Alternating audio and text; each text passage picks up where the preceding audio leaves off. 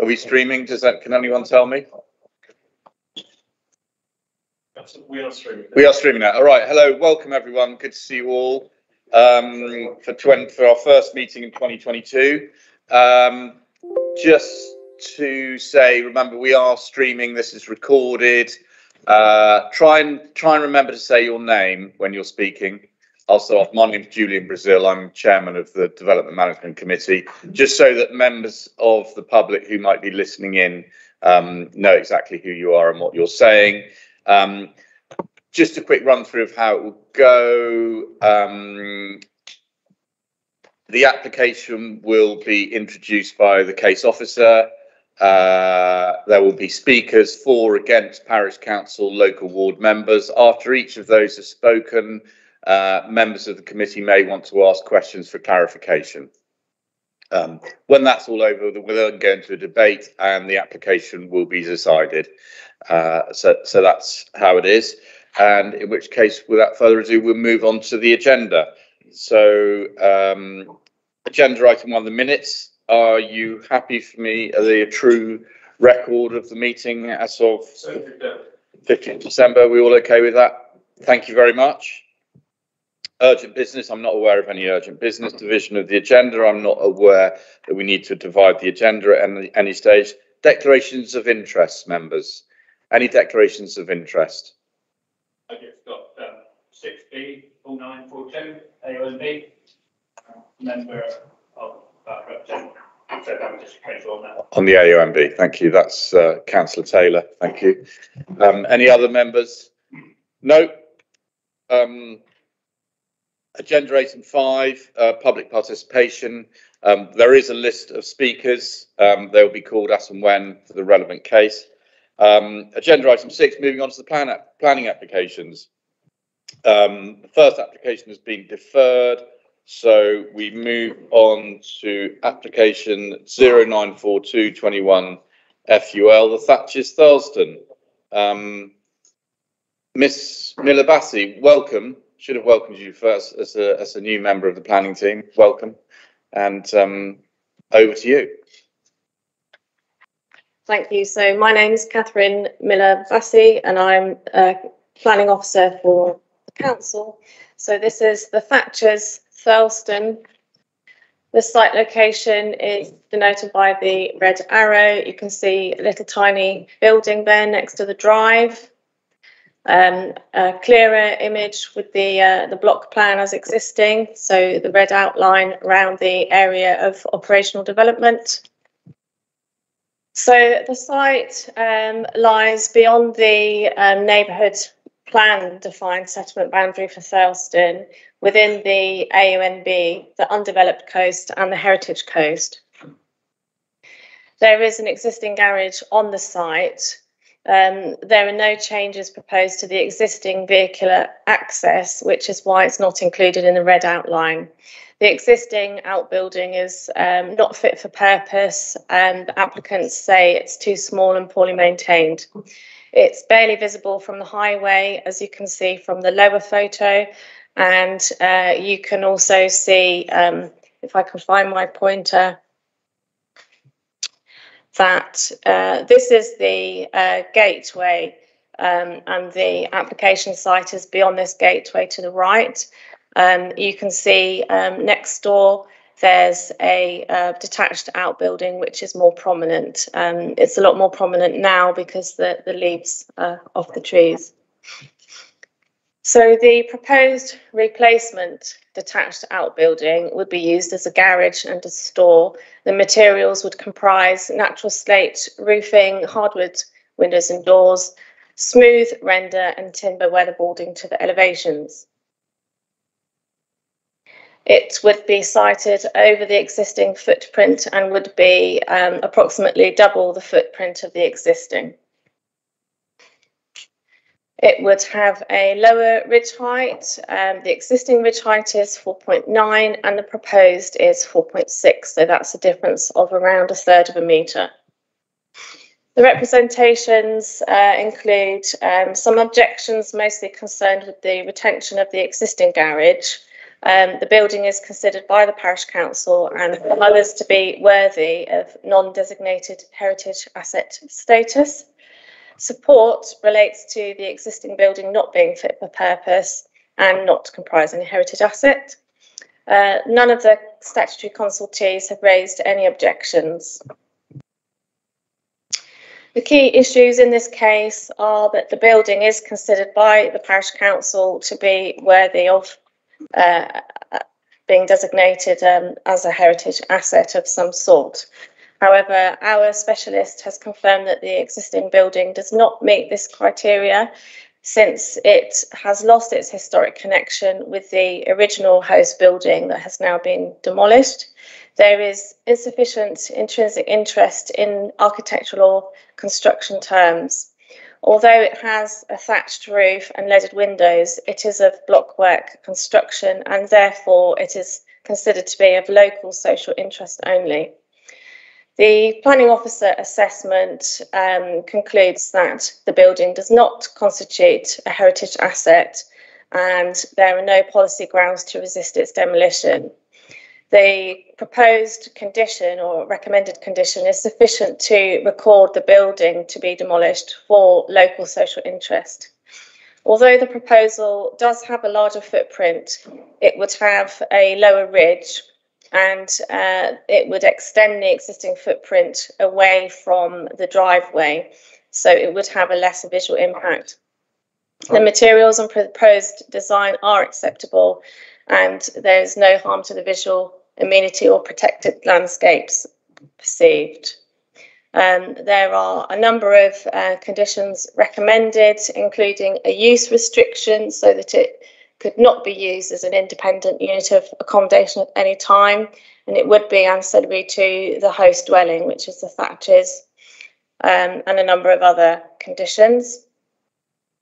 So uh, on balance, um, it would have a neutral impact in terms of uh, the material considerations uh, already mentioned.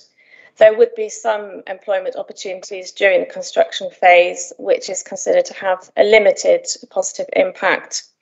Um, no significant or demonstrable um, adverse impacts would arise, and therefore it's considered to uh, represent sustainable development in terms of both the NPPF and the Joint Local Plan.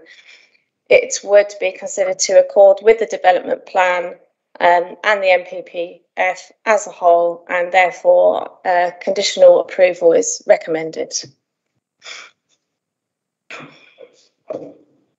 Thank you very much. Um, members, any questions for clarification? Councillor Pannell. Councillor Guy Pannell. Um, the main thrust of the objections to this uh, application seems to be the loss of the existing garage. Uh, it's not a listed building or in a conservation area. Is there anything to stop the, the owners demolishing this building without permission? Do they need our permission to demolish this building? No, they don't need permission. So, but the reason it's part of this application is that it being there gives them certain rights as to what they can replace it with. Is that right? Um, the fact that there's an outbuilding there um, establishes the principle for a replacement building. If there was no building there at the moment, it would be a different kettle of fish as to whether they could have a building there or not. But we're not debating whether they can demolish it or not. They have the right to do that. That's right. Thank you very much. Councillor Hodgson.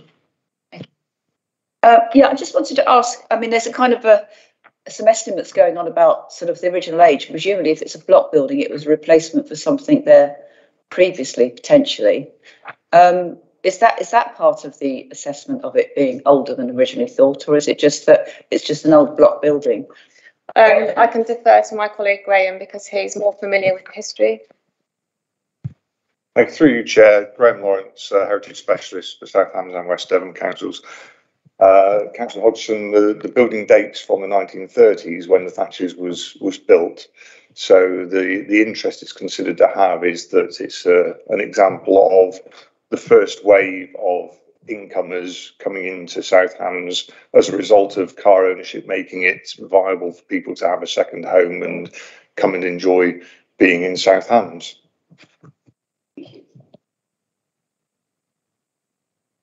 Okay. Um, councillor Long. Thank you, Chairman. Um, Councillor Long, can I just ask a question? There's a request to record the building before sort of demolition. If there's no heritage interest, as you have said, or, you know, that sort of area, why would you request um, the building to be recorded?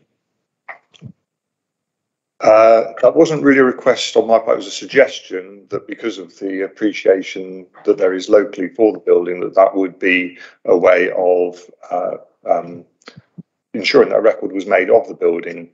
Um, I don't get into detail, but if you look at the hierarchy of assessment of heritage assets, where a heritage asset or something that's considered to be a heritage asset is lost, the bottom line is you have the option of recording it now. We could members could decide not to do that, but it's it was a suggested option because of the uh, local concern and interest. Councillor. Can I just sort of um, ask you to sort of confirm that the, although the building is block work, it is the original block work of the 1930s? I can't confirm that, councillor, because I've not been to the building to inspect it internally. Uh, my assessment has been based on the information provided uh, as part of the application and by the parish council. Okay. Um, any more questions, members? No, thank you very much. In which case, we'll move on to the speakers.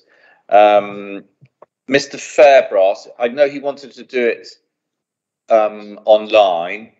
Uh, I don't know if he if he's there or if he's here.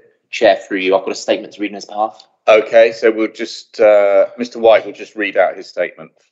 Thank you, Mr. White. Thank you, Chair. I would like to say to the committee that yes, we can see the building has some charm, but neither the Heritage Officer nor Historic England agreed it was worth any special status. I recall the permission to demolish the original house included a garage.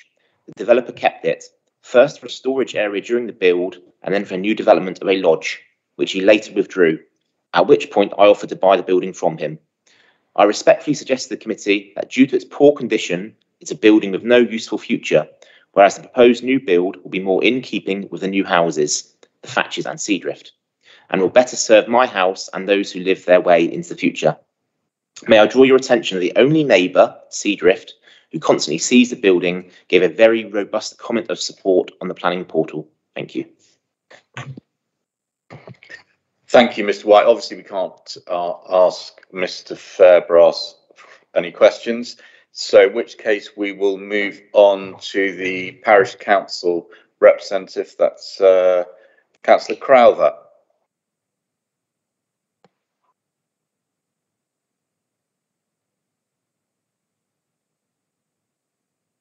Hello.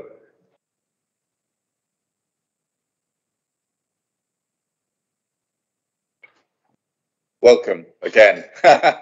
you might as well join the committee. um, right, so you know you've got three minutes um, from when you start, and then when you've finished, members of the committee may want to ask you a few questions, if that's okay. Um, over to you. Thank you. Thank you, Chair. Um, Thurlestone Parish Council objects to this application. We consider that it does not comply with the development plan of the area, that's the JLP and the Thurlestone neighbourhood plan, and that there are no material circumstances that indicate it should be determined otherwise. The existing building is located outside the Thurlestone settlement boundary within the OMB, the Heritage Coast and the undeveloped coast, where development is resisted and only permitted under exceptional circumstances. Previous attempts to extend development in this area have failed, including an attempt to replace the existing building with a two story gatehouse and other applications on the adjoining land, the Downs. The present day Thatchers is in, in the same um, ownership, already has an integral double garage and bin stores, and the log store, the proposed log store, this would be some distance away. Um, second reason, the proposal fails to conserve and enhance the natural beauty of the South Devon AONB. Unlike the existing locally distinctive arts and crafts thatch building, which contributes to the unique landscape and seascape character and special qualities of the area, the replacement building is double the size and contemporary design with weatherboarding and a grey slate roof. It's not locally distinctive and it doesn't contribute positively to the character of the area in accordance with the relevant Heritage Coast AONB objectives referred to in the JLP. Um, and the third reason, the existing building is of local historic interest. This was recognised in the Council's pre-app advice, which referred to the building, and I quote, a simple yet characterful historic building which makes a contribution to the South Devon AONB. Officers remain of the view that this building should be retained.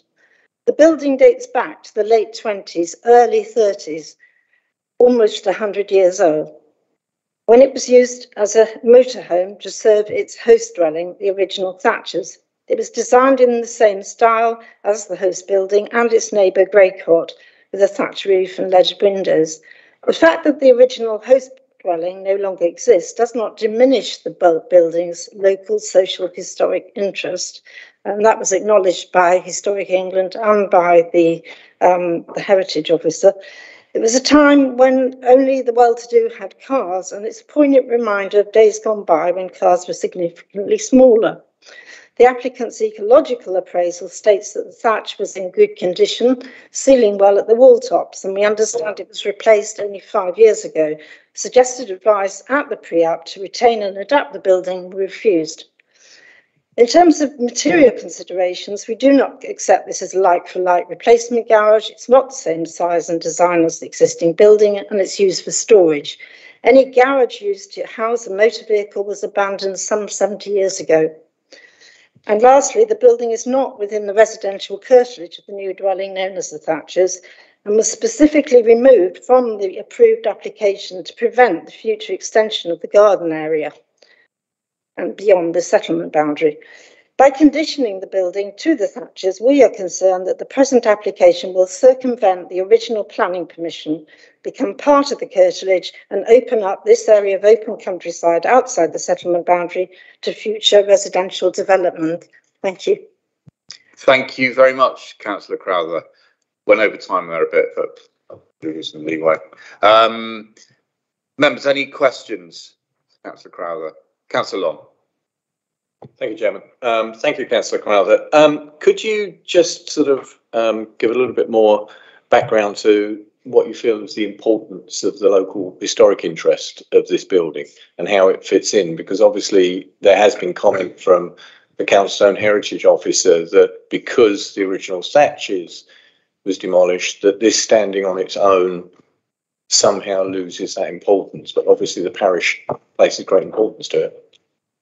Thank you. Um, they didn't.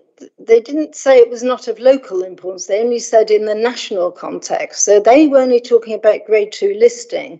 Um, we have many, you know, I mean, but we can still list it in our neighbourhood plan, and indeed we, we could consider.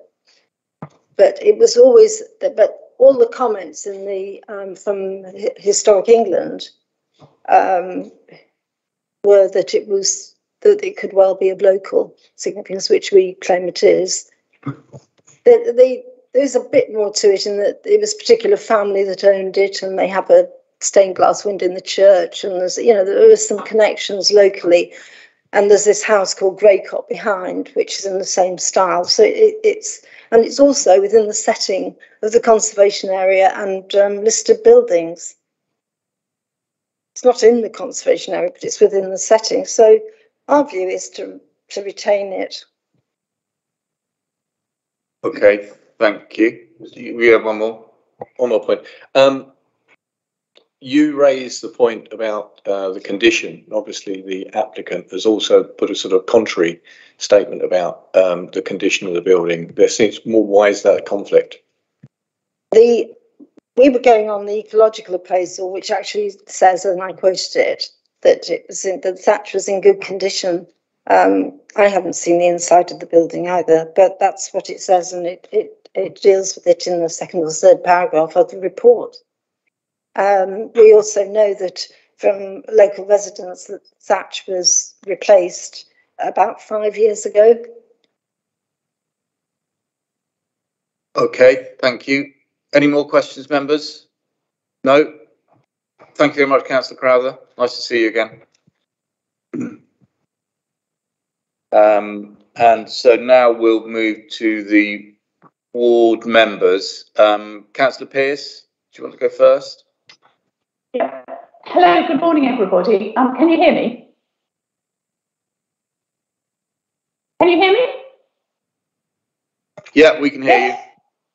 Oh, okay. Um, good morning. Um, I'm Councillor Judy Pearce, and I'm the other ward member in Thurlestone. You have one on the committee.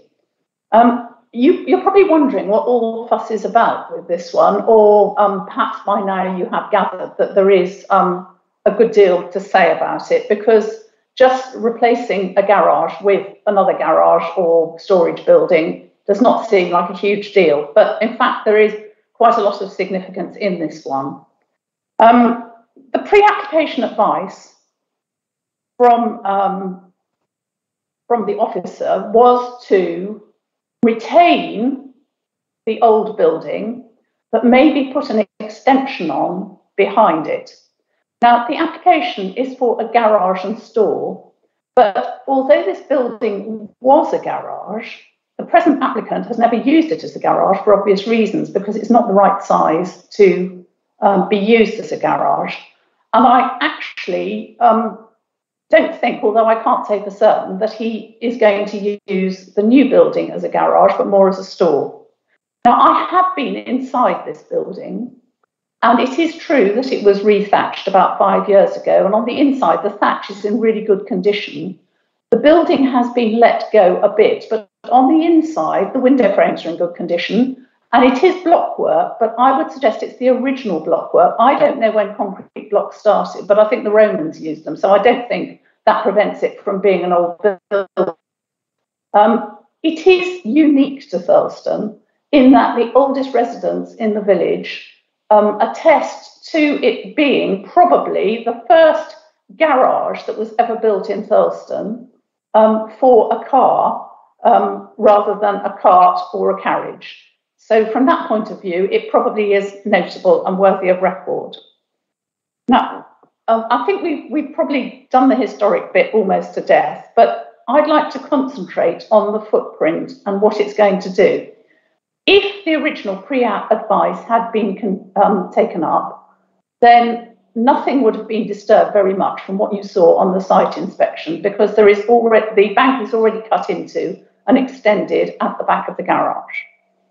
If this is carried out, a lot of the bank will have to be dug into, and the red line, as presently drawn, I don't think hardly um, accounts for the width of the building, and it might be useful to have that up on the screen so you can look at it. The building is going to be almost twice as wide um, as it is now, and will involve the bank being cut into and shelved off, as was shown in the um, end view of the garage that was also put up uh, during the um, presentation from the officer. This will mean there will be the loss of two of the ancient apple trees, which you saw on the site inspection in the orchard behind, because the land rises quite steeply. Um, I'm just looking down my notes to see what also what I also need to say. Um, I think I think the point that um, thank you. Yes. Now you can see the red line behind the arrow.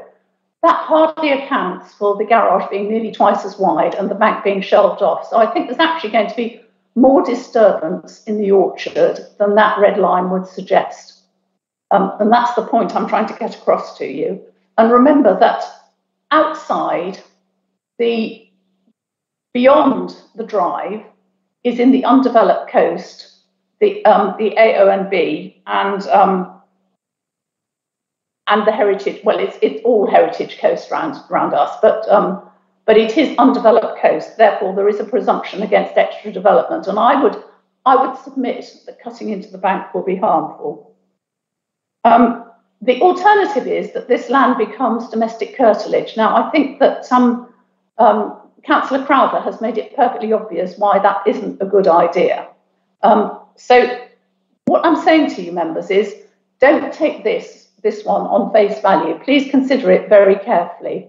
I think um, a good case has been made by Councillor Crowther why it should be refused, but obviously the decision is up to you. Thank you, Chairman.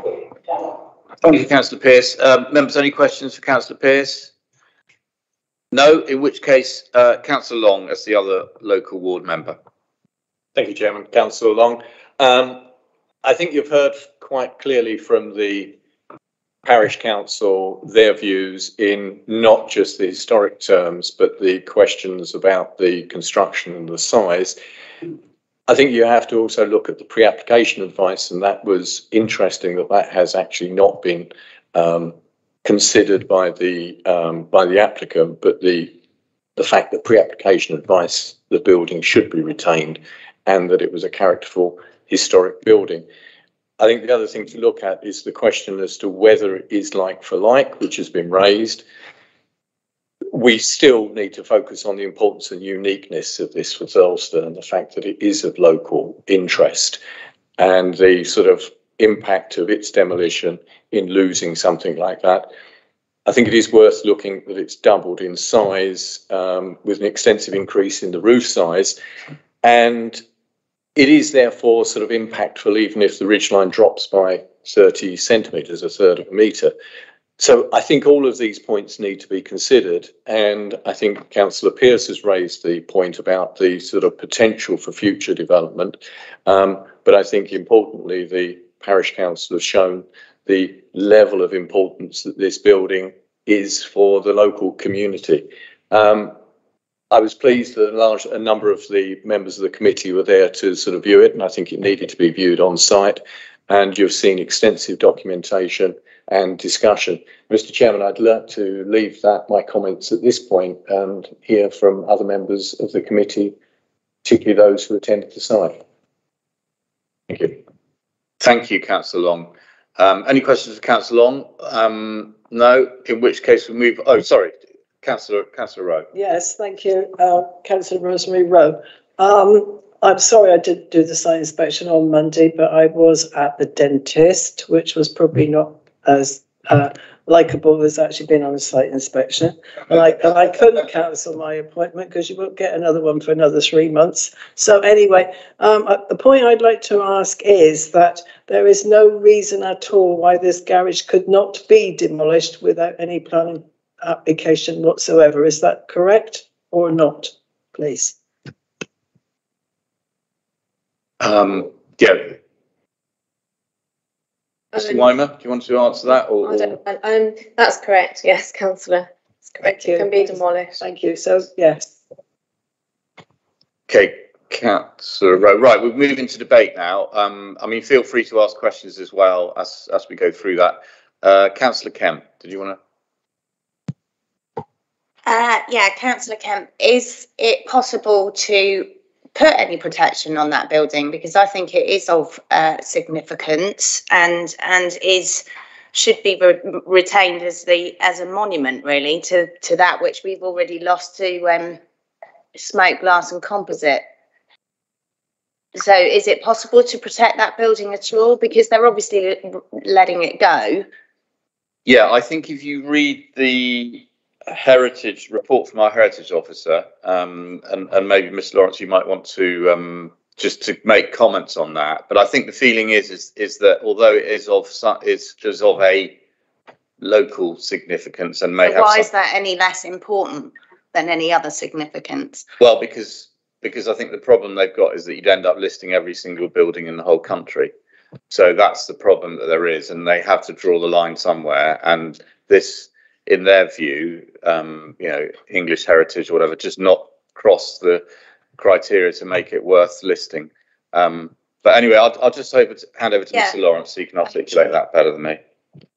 Thank you. Thank you. I'll I'll just give a very quick summary uh, for members. Um, There are three ways that the planning policy guidance identifies in which uh, a non-designated heritage asset can be identified. One is by the local authority through a local list. One is by the local community through their neighbourhood plan. Now, Thurlestone has a neighbourhood plan with a list on it, and this building is not included. Um, we elected to go down the route of having uh, a flow chart and a methodology in our supplementary planning document, which is an adopted supplement to the joint local plan. That in turn refers to the Historic England guidance note on um, local listing. And if I could just run through some of the reasoning that this is the reasoning that I applied. Um, the criteria for local heritage listing include age, well, this is not a building of great age, although it is of some age, but that limits its significance. Rarity, it is a rare example of this particular building type, that's absolutely acknowledged, but only very local interest. Architectural and historic interest and artistic interest, it's got a thatched roof, but otherwise, and it's got windows with a bit of lead in Otherwise, it's a pretty basic building. It's not like a, a artistic expression of uh, its time. Group value, I think this is very significant. It has no group value any longer because the buildings that were built with it at the time have gone. So that means it has no relationship with any other heritage assets. It's not visible from the conservation area or within the setting of the listed buildings. There's no archaeological interest in terms of historic interest, Historic England refer to significant historical associations. That's usually with quite famous people. Now, I fully accept that there is an association with a well-known local family, but again, that makes this a very specifically local interest. And finally, does it have landmark status? Well, no, because it's not visible from the public footpath, which is the other side of the ridge. It's not visible really from the street or from any other significant vantage point. You know, if a building like this were, let's say, for argument's sake, a bus stop in the middle of the village that people had been using and passed by every day, then absolutely it would merit uh, um, identification as a non-designated heritage asset. But even then, identification as a non-designated heritage asset does not of itself provide protection. Um, the thing protecting this building from being demolished is the fact that if it was gone, it was gone, and that the, there would be no justification for a new building, I suspect, in the AONB, etc. So I hope that helps. Yeah, thanks. Thank you, Ms. Lance. Uh, are you you all right there, Councillor Kemp? Yeah, I'm through Okay, yeah, all right. Um, Councillor Abbott.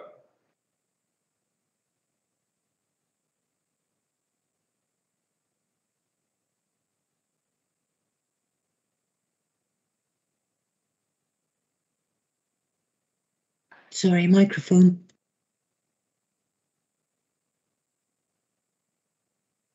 All right, that's it. Councillor Abbott.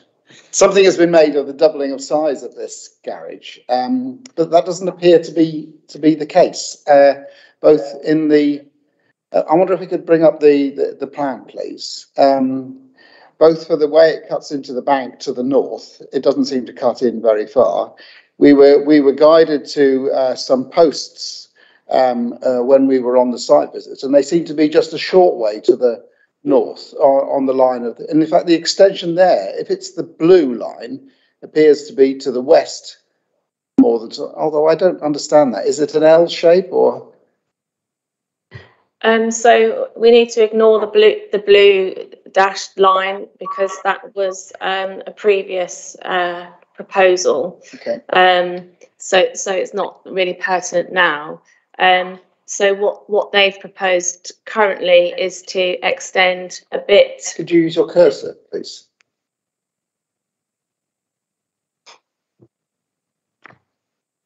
So we, we ignore this blue line because that's a previous iteration. So currently um, we're looking at um, this solid black line Yes. which would be um, the uh, elevation to the left-hand side um, and this line here. So that would be the extended footprint. This bit over here, which is going into the bank, um, is an overhang. So that would be the, the log store. I see, and the dotted line inside. Sorry, go back one. So if I could just show you there, can you see this bit bottom left of the of the page? That's um, an open log store, um, and and this is where where the bank would be dug out just here. So yes, we ignore this line. That was a previous iteration. To go back, please. So the current garage is the dotted line inside there. This bit. Ah, okay. Thank you. Thank you, councillor Abbott. Um, just, as- yeah, you turn your. Yeah. Thank you. Yeah, just, to- just remind members that, that unfortunately you, you can't have two people with their mics on at the same time, even if you're in discussion. You have to sort of turn it on and off as you go, because you, otherwise you get this sort of weird feedback. Um, anyway, right, so we're into debate now. Councillor Long. Yeah, or did councillor Foss? Yeah, councillor Foss, yeah, thank you, Chairman. Um, yeah, um, this is one of those we're going to have difficulty with, of course we are, because uh, it's what we would call, looking at it, as a nice little building, but we've already been told it's got no protection and it could be demolished tomorrow. Um, what did interest me was, we got an application for another garage. And if you remember, for those of us who were on site, when we went along, the owner opened up the double garage that he's already got alongside the house. And what was it full of? What most garages in the South Hams are full of? Junk. Doesn't see a car inside it. So I haven't got as much sympathy for the application as I might. But having said all that, um, I've got great difficulty in finding anything that we can say you can't have it. Um, you know, it, and I want to hear what others were saying, but I'm, you know, you, it's, we're in one of those situations that we're having a great difficulty in finding something. We could, could we, um, have conditions on it? Like, I think, is the application for garage and store? Is that the wording? Yeah. Oh, Yeah, that's okay, right. so if that's the case, we can't, we can't condition it saying that it can only be used for a garage because, um, all I can see is another place with some more junk. And I'm, I'm, I'm as bad, I've got a double garage full of junk, so I can't really talk, but, um, you, understand where I'm coming from. It's another building when there's already a double garage attached to a modern house. And for the, on the heritage side, I think we lost a lot of any argument on the heritage side when the original house was knocked down and we've got a very modern house, which I must admit, um, I would have thought was better off in Salcombe rather than in Th- Thurlestone, to be quite blunt. Uh, to see it amongst some of the other houses around, it, it was very stark and very, very modern. Um, I don't think if it was in front of me in, in this committee, I would have uh, voted for um, permission, but it's there. Um, and yeah, I, the difficulty I have is I understand the local concern about uh, losing what on the front of it is a very nice little old building and it's got some history. But uh, from what we've been told, there's not very much we can do about it. Thank you, Chairman. Um, councillor Hodgson. Thank you, Chairman. Uh, yeah, councillor Hodgson. I think there's a question of scale here, and as has been pointed out, the sort of the size is quite a difference. But it won't be just the size that will be much more kind of obvious. It'll also be the change in the roof. At the moment, that thatch sits well into the landscape. It also sits well into the surrounding heritage buildings. And I think, as has been pointed out, you know, the 1930s was an interesting, uh, you know, as this is associated with the 1930s, which was an interesting time for this area because there's quite a lot of representation of that period, the, the arts and crafts. And it's important that we kind of remember our history. I mean, there's we tend to sort of hold on to things that are medieval, and maybe this was kind of a bit of a, a copy of, of medieval scale and, and size. But nevertheless, it struck me. I mean, and for those of you who didn't realise, I did actually go to that site meeting. I just couldn't find it very as quick as everybody else, and so I did have a good look round. And um, it was I, I just thought it sat well in its position. It sat really well just inside there. There's that peak, that kind of scale. If there was a much bigger building there, it would be much more kind of eye catching and not necessarily sort of so as, as even the applicant has said, you know, the charm. It is charming that little building, and I think those are the things that we, you know, we we lose at our peril because once the balance goes between allowing those buildings to be replaced by very modern buildings, and as has been said, because I actually also saw the modern building because that's where I was around the other end. Um, it's I think it's this whole thing of change, and one, at some point the balance is lost between what we look, look at as a place full of charm and that hangs together well and represents you know, the, you know, the passage of time in a very, in a very soft way, as opposed to much bigger buildings that really jar and are much more dominant in, albeit, you know, a very small part of landscape. And so I think I would actually move refusal um, on the basis that um, of heritage, heritage value. I know it's not um, it's not a designated asset, but I would suggest that the perhaps the parish council think um, about listing it as part of a review of their neighbourhood plan if they get the opportunity as something of value in the area. I think the social heritage value is very important. The connection has been made with the window in the church. And um, I'm sure there's wording that we can find to actually support refusal. I know it's a bit on the edge, but I think, you know, it has value, that building. And certainly a new building wouldn't be getting um, permission if there wasn't another building there. So it's being used as a demolition site rather than as a um, as a sort of something that is in favour for the new building itself. I think you know if that as has been said already, if that building, the new building was coming before us without that building to be demolished and provide a, a building site, then it wouldn't it would be refused. And I think we can look at it from that point of view as well. So I I move refusal. Um, Councillor Foss, you just wanted a quick question. Yeah, I just want a quick question. If we turn, uh, uh, um, Mr. Weimer, I think, if we turned it down and said no, didn't give permission, there'd be nothing to stop the applicant knocking it down tomorrow, would there? No. Yeah. No, we've, we've ascertained that. Um, I've got a few questions coming up now. Uh, Councillor Long? Um, thank you, Chairman. I, I, uh, Councillor Hodgson has stolen a lot of things that I was going to say, which I'm grateful for.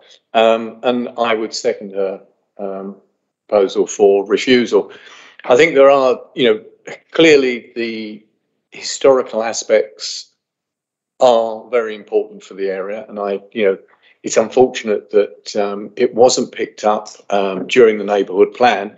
But um, when you consider the amount of work that goes in from volunteers to put a neighbourhood plan together, certain buildings are going to be missed. And I don't think, you know, um, this is a reason. I think, you know, every time an iteration of neighbourhood plan goes through, I'm sure additional items like this would be picked up.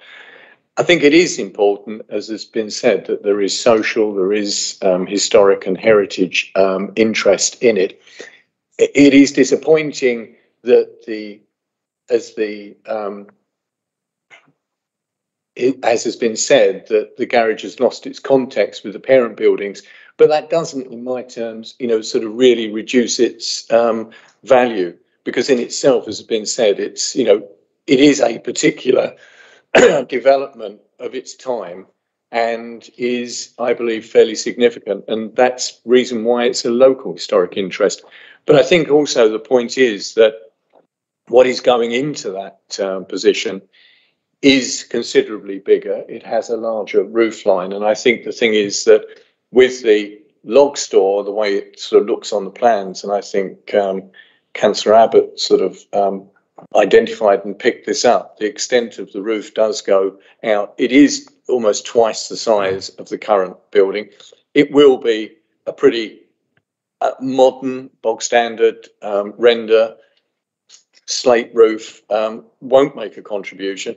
And I think one of the things that was picked up is by the um, parish council is the concern that um, that the building itself is not within the residential curtilage um, of the thatches um, and was specifically removed from the approved application for that to prevent the future extension of the garden area.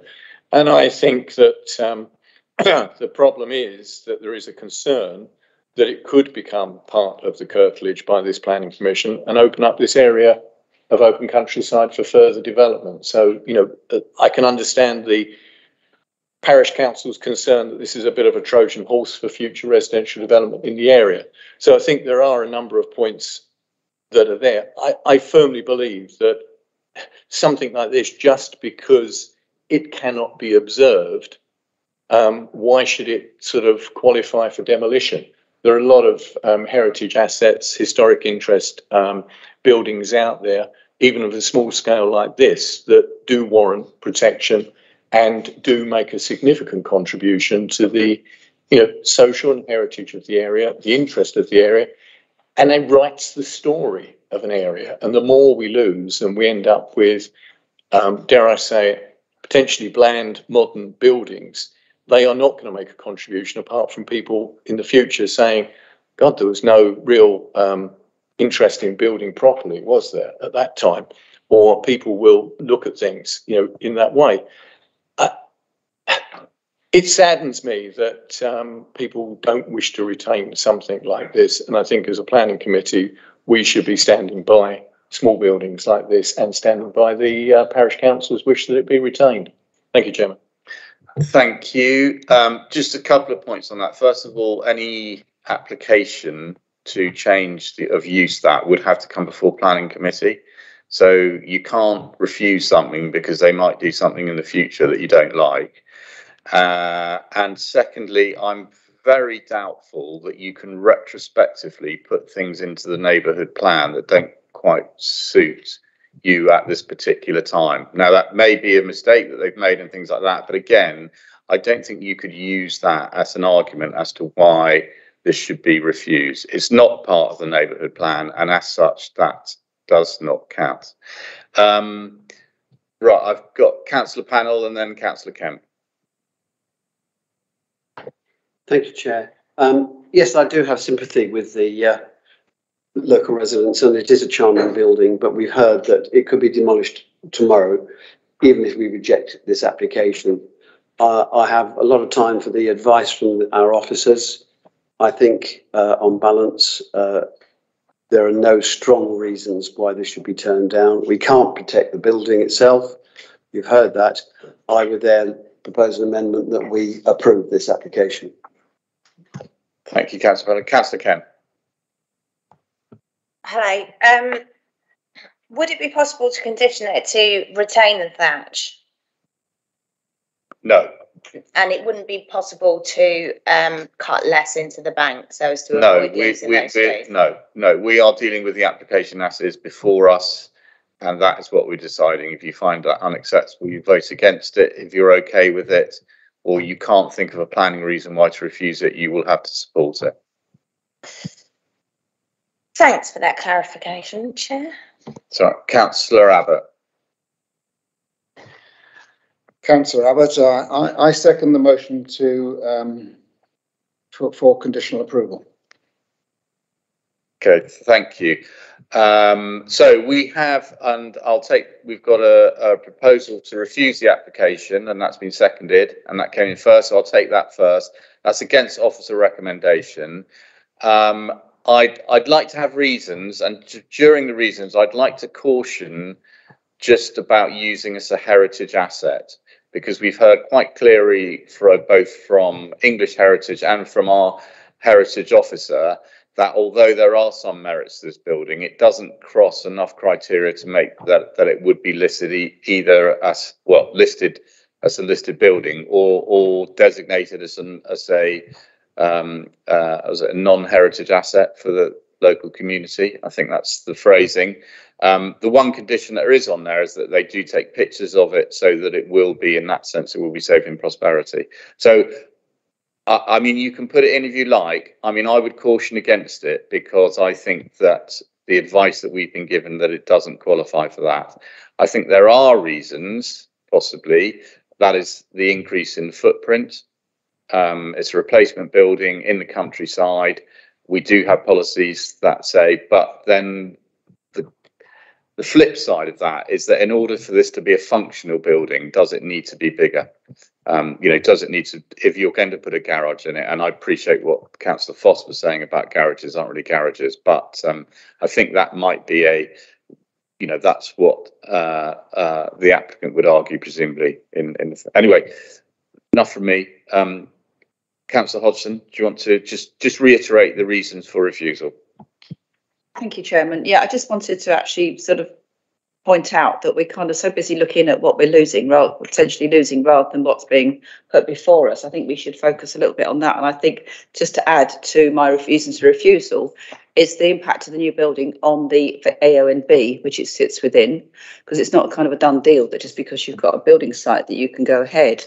Um, so it's a it's a it, the um, it's much more visual in the AONB. It is um, um, and it's it's the loss of a building that has social local value, so social heritage value. Is that good enough? Um, yeah, I mean, I, I think so that it's got a negative impact on the AONB and the Heritage Coast.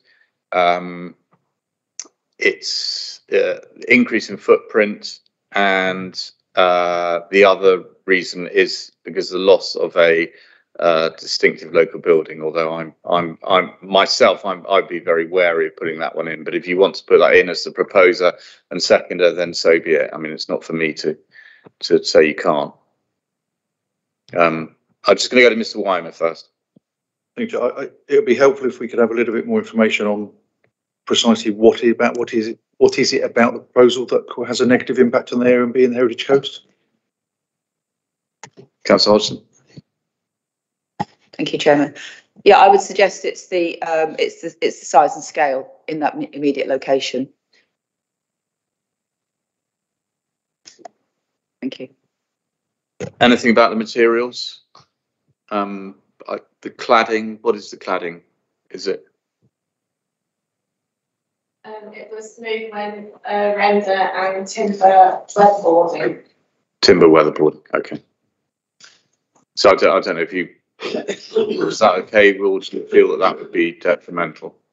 Well, it's it's out of the it's it's not in keeping with the local vernacular, and it's um, also the slate roof is much more visually um, intrusive than the thatch, which is virtually invisible. Okay, right. In which case, are you happy with those, Mr. Weimer? I'm really nervous about basically saying a slate roof is unacceptable in the South Hams. Uh, um, given that most of the times we're saying that is absolutely local vernacular and we're, we're putting on a reasonable refusal, the use of a slate roof isn't local vernacular would really make me nervous. Chairman, is it, could we say, because it it is a fairly extensive uh, roof, because you've got one side is particularly pitched almost right down to the bank.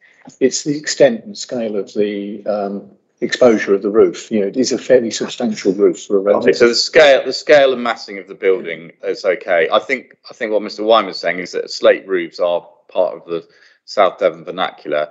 The only thing I would say is obviously it was a thatch and now it's going to be a slate roof. And people may feel that a slate roof is less, is less appealing than a thatched roof. The, the point I was making, Chair, really was that a thatch doesn't reflect, so it sort of disappears into the brown into the colour of the landscape, whereas a slate roof will catch the light, so you actually see it more. It's not because it's wrong, but you're just more it's more Yeah, I visually think- intrusive I or think you're visually aware. clutching at straws there. Uh, I got Yeah. Okay. Right. Anyway, look, I think we've got a general idea. Um, I mean, you, you've heard that Mr. Weimer's slightly nervous about some of those reasons. Um, uh, I, I mean, I personally will be voting against um, refusal because I, I- I think that particularly with the original house having been knocked down, that would be rather perverse if we defend the saving of this, but we've allowed the original house to be knocked down. Um, and I just, you know, if the original house was there, then then then maybe. But the fact that that's gone, um, to then then say we can't allow the the the, the garage to be just um, changed, I, I I think would be look rather odd. But anyway, so that's that's my view. Um, right, members. Uh, so can I have a show of hands for all those in favour of refusal, which is against the officer recommendation? That is two in favour, thank you, Chair. And those against refusal? Nine against, thank you, Chair. We've then got a proposal for um, conditional approval as per the officer recommendation. That's by councillor Pannell and seconded by councillor Abbott. So can I have a show of hands, all those in favour of conditional approval, please show. That is eight in favour of approval. Thank you, Chair. And those against? Two against. Thank you, Chair. No, three. Oh, Three, councillor Kemp. apologies, three against. Any abstentions? With one One abstention. abstention. Thank you. Okay, so that application is approved. Thank you, members. We'll just take uh, a quick five minute break uh, and then back here. What time is it now? It is, yeah, so just after 11. If you could be back here, please. Thank you.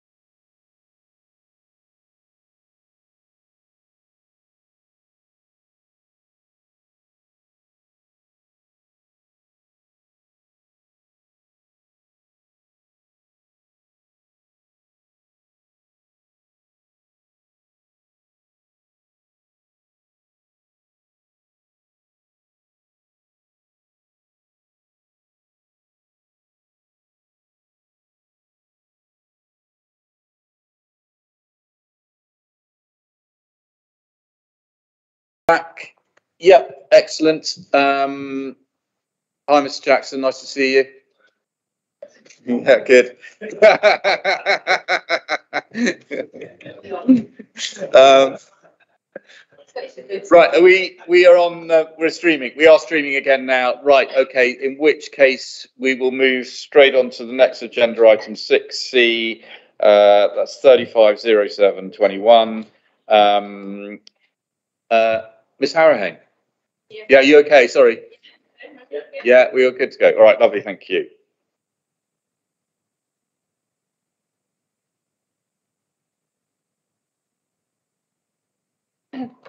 Thank you. Um, okay, uh, good morning. So this application is um, in Ivybridge, just to the south of the A38 between Ermington Road and the recycling centre. Um, just you can see the red line. So with uh, just uh, above the site, above the red line, there are um, storage containers uh, within the the sort of the same land as the site. They're prepared. They're they're going to stay as they are, and the application only relates to the vacant area of site um, to the west. So you can just see in the sort of the right hand side of that uh, photo, there's some storage containers. The application site is that uh, empty fenced off area of land that you can see in the photo. Um, so just to update members um, before I start, we uh, received a highways objection um, so too too recently to uh, get into the report. So initially there was no objection subject to condition. Um, highways are now objecting for the two reasons on the uh, slide, but Mr. Jackson is here, so he can uh, go into that in a bit more detail and sort of answer any questions um, at the end of this for you. Uh, so the um, the kind of the main basis of the application is the applicant FCC Environment Limited uh, have increased the number of waste collection vehicles that they are operating to try and improve their service. Um, they don't have enough space within their existing site to park all of the additional lorries that they need, so they are now seeking to change the use of this area of land to allow for parking uh, of the additional collection lorries. We have had a number of objections most of which were from members of Ivybridge Tennis Club, which is on the other side of the road to this site. Um, I think there's been some historic problems with uh, uh, waste staff parking in the tennis um, in the tennis club car park, um, and this has obviously caused some friction. Um, following all these objections, the applicant submitted uh, some additional information, um, namely this parking plan, uh, which shows that they can accommodate the collection vehicles and staff parking on the site. Um, they've also done a parking statement where they've laid out kind of the the various things that they're doing and have done to try and resolve these issues. So um, uh, having a banksman on the site so that the cars and the lorries are kind of arriving and leaving safely, um, communication with the tennis club and things like that. Um, I would emphasise that parking disputes outside of the site aren't material planning considerations. Obviously, we can't control where people park outside of the site, but um, hopefully, the fact that we've got this additional plan and this extra information about parking should avoid any sort of more civil disputes. Uh, just as a bit of an aside. Um, so, to uh, just in terms of other matters, there's no physical changes to the landscape. Um, there will be a little bit of additional fencing just to completely secure the site, but this will match the existing black fencing. Um, a condition suggests that any external lighting be agreed if it's required. Um, there's an existing access to the site for uh, cars and lorries, um, so so that would just be used. Uh, it's quite an industrial site, um, so there's no residences sort of within the vicinity of the site uh, to impact on amenity, and the site will be used for parking only. So vehicles will be maintained, repaired off-site, and environmental health have no concerns with the application, um, and therefore it's recommended for conditional approval. Thank you. Thank you, Ms. Harrahane. Um, members, got to councillor Pannell and then councillor Abbott. Uh, thank you, Councillor Guy Pannell. Just one quick one. Can you show me the site plan again with the access? Because I'm a bit confused where the gates. Because that's So if Oh, you I can see my- Ermington Road. Yeah, so you, you come in up here, if you can see my cursor. Oh, that's the turning into the recycling Yeah, so you would go up here to Right the up there. recycling centre, as I see. here, and then the access gates are in here. Right, that's fine. That's what I wanted to clarify. Thank you. Councillor Abbott?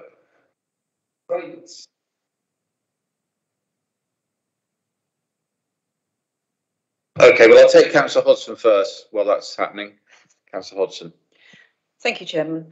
Uh, yeah, I just wondered really why the County Highways Authority initially said they had no objections subject to vehicle access being restricted to the main recycling centre access road only. I mean, I wonder why it's come back. Normally, you know, once it goes, it comes back with one of, so is, was something changed in the application that changed that view from the County Highways Authority?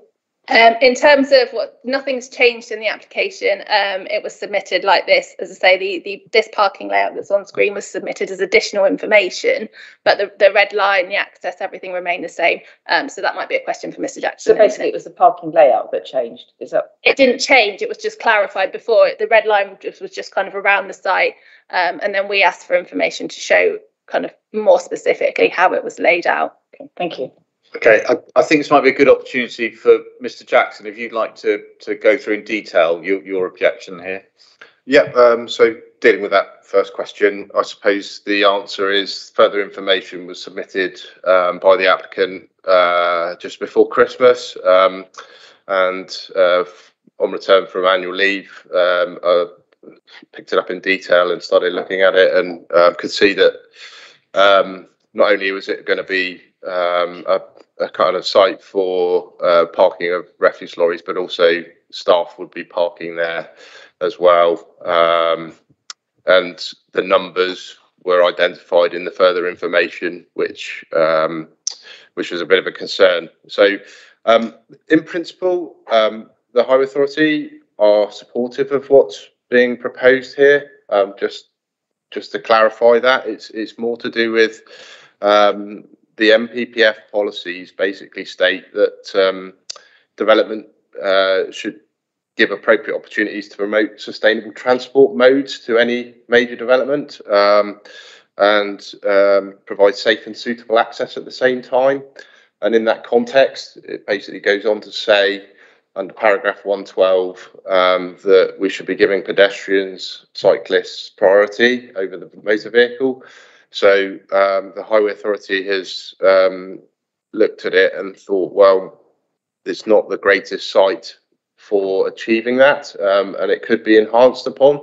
So we've asked for a footway to be provided to link back to um, pretty much where the underpass is um, already in existence to the tennis club, um, so that people can walk to and from the built-up area of Ivybridge to the site, um, and also there are shower facilities at the main depot um, which is uh, the on the built-up area side of the site um, that are associated to the staff. So there would be opportunities for people to cycle to work um, as well, because you don't really want to be sat in a, a refuse lorry for a 12-hour shift or an eight-hour shift. If you've just cycled a fairly significant distance, you want to have a shower before you get in that vehicle for the sake of your colleagues. Um, and um, we've just asked for additional uh, information. Um, obviously, it's late in the day, and I can only apologise for that. But um, we've asked for a scheme to be drawn up to show a footway leading back to the existing footway network, so that there is safe and suitable access provided to the site. Um, the numbers provided of the number of staff that are likely to be parking on the site uh, between uh, around about 35 to 40. So it's not an insignificant number of staff that will be needing to gain access. And then you've also got the existing staff that are already using the waste transfer facility that would benefit from that as well. Um, thank you. Yeah, there's a few questions come up. uh, If you're okay with that, uh, Councillor Councillor Hodgson, then I'll go to Councillor Abbott. Thank you. So just if I could come back then, given that you've raised an objection, um, are we trying to sort of support this objection, you know, get around this objection by bringing more um, conditions into this application if it was to be passed? Or are we sort of suggesting maybe it should be withdrawn and that's sorted out before and then it comes back? Is this, is this objection too big for what we've got before us? Um, Mr Weimer, the South Hams' officer view is that the application is acceptable as it stands. Thank you. Uh, councillor Abbott, did you want to? Thank you. I have a few questions. First one is, is conceptual. I remember this, the original FCC application coming before this committee maybe two years ago. And we were hardly given the opportunity to discuss this at all. Uh, because it was a Devon County Council application and therefore it was going to go through. How does this one relate to the other one? How, how come we can even discuss this? Mr Weimer again? So it's a good, good question, councillor. I think, am I right in thinking that the application you're referring to is the the waste transfer facility on the, the site, just the other side of the slip road? No. The, that is clearly a county matter because it's, it is fundamentally to deal with um, waste disposal. The, this, this application, I think, is not quite so clear cut in that it is for a parking area. Um, and there is, I think there's an argument to say it could be um, a Devon County application. There's also an argument to say it's a district application. And I don't think the county have come to us and said, you shouldn't be dealing with this. It's a, it's a county matter. So I'm, I'm comfortable that it is something that we can, we can determine. Well, keeps on going off, and so, yeah, thank you. What, thanks.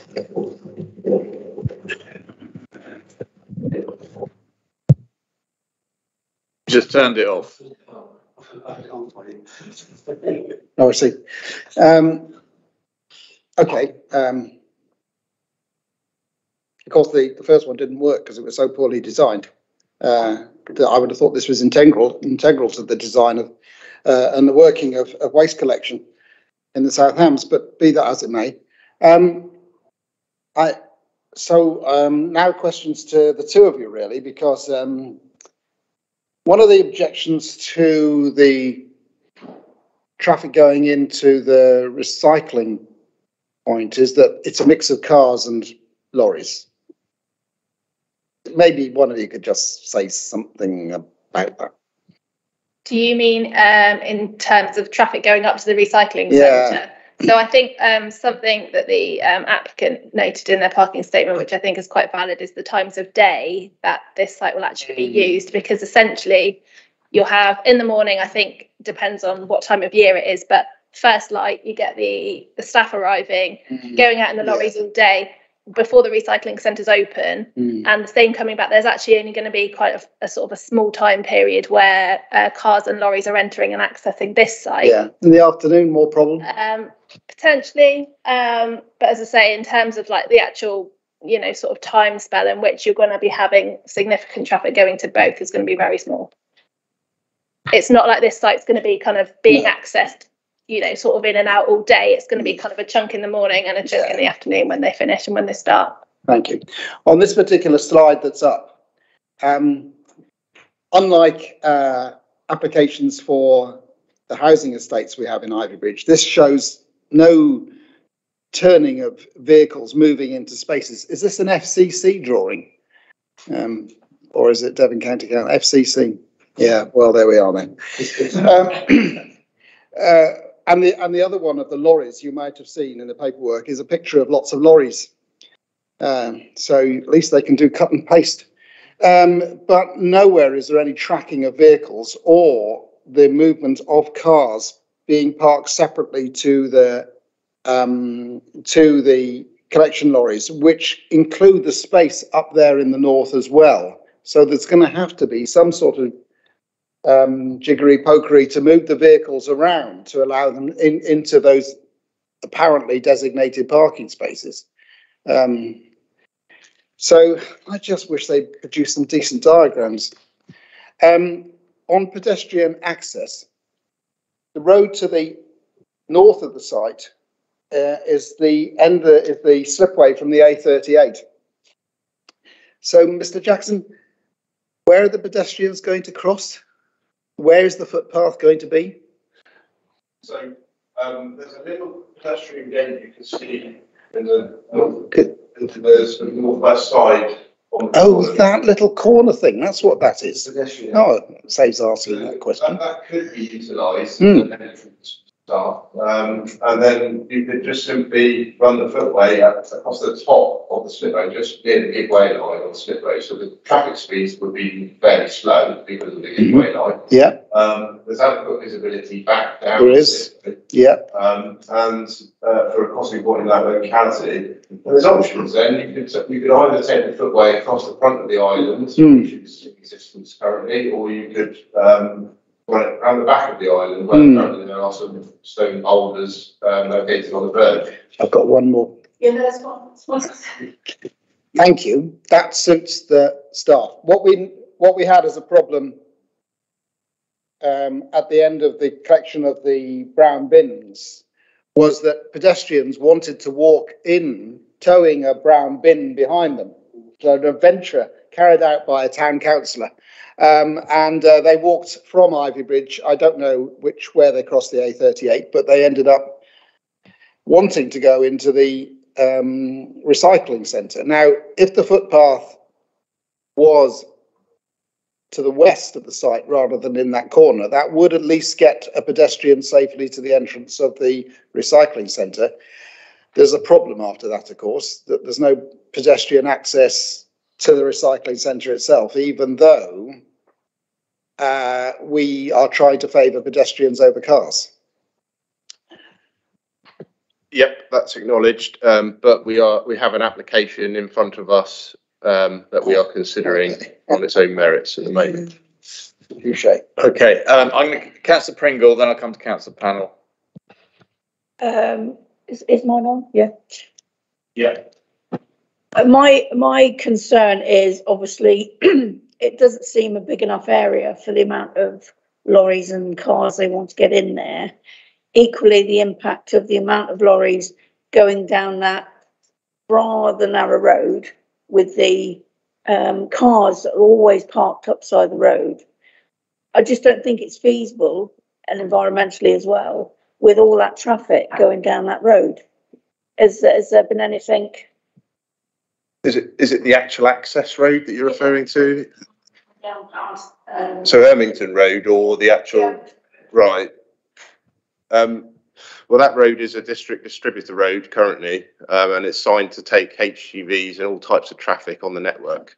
So I don't think we can distinguish between, um, the minimum extra traffic this proposal will generate and, and what's already using the network. It would be quite a, a, a weak argument to, to take. Um, obviously, there's parking on that road. Um, it is high demand during the day, not just because of this site, but mainly also historically because of the industrial estates in the area.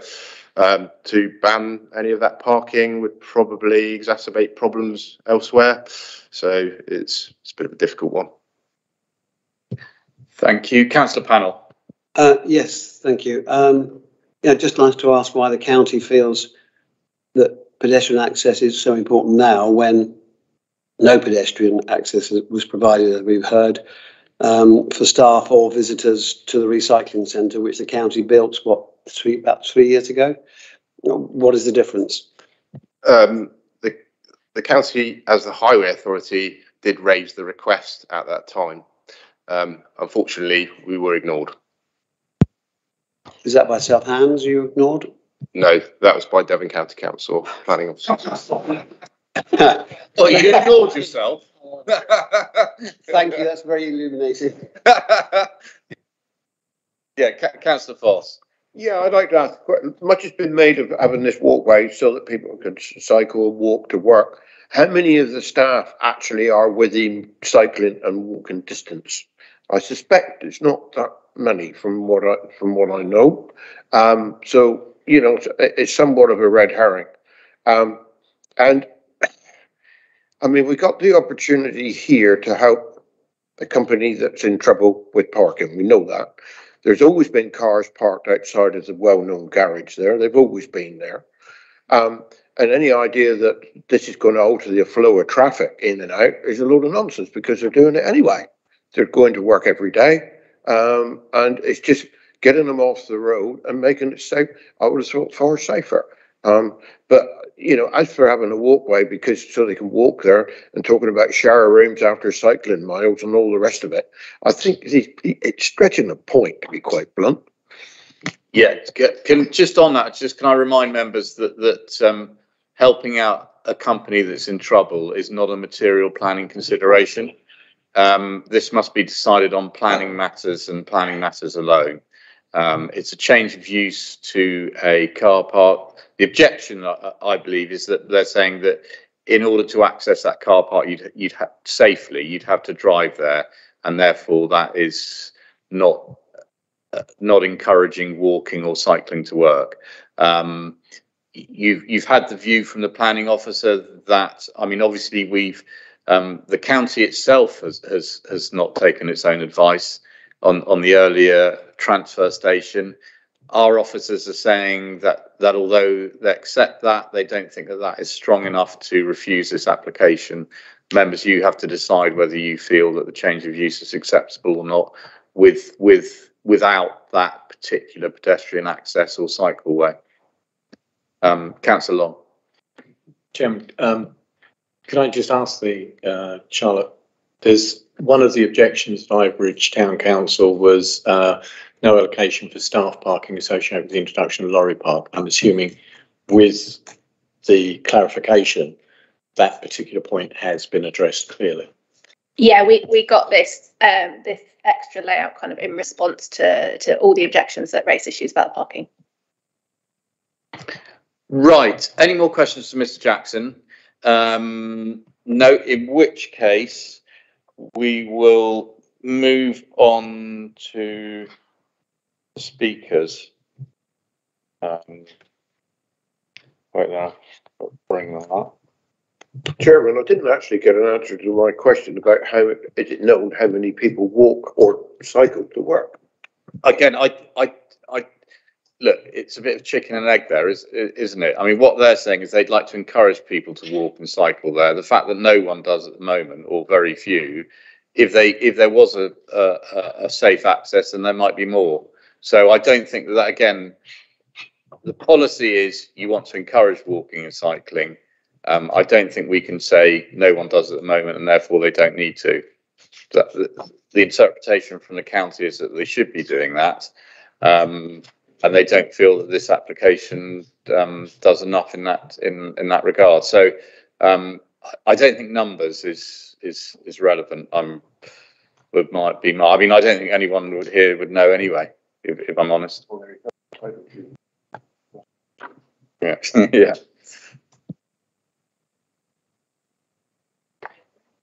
Right. Anyway, I'll move on to the speakers now. Um, and yeah, I've got uh, Mr. Baston.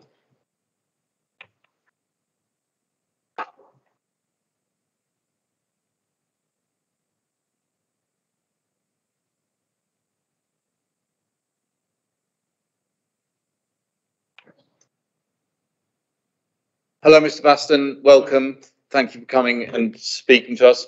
Um, what will happen is you'll have uh, three minutes to, to, to, make your case, and then members of the committee may want to ask you a few questions for clarification. Um, so over to you, sir. Thank you. Do you want mine again? Oh, so yours is on. No, I've just, no. Mine. Come on now. Oh, it's on now.